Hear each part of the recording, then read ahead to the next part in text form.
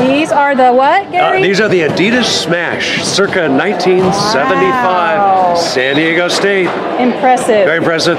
And these glasses you're asking about too, these are from the 1980s. They were all the rage too.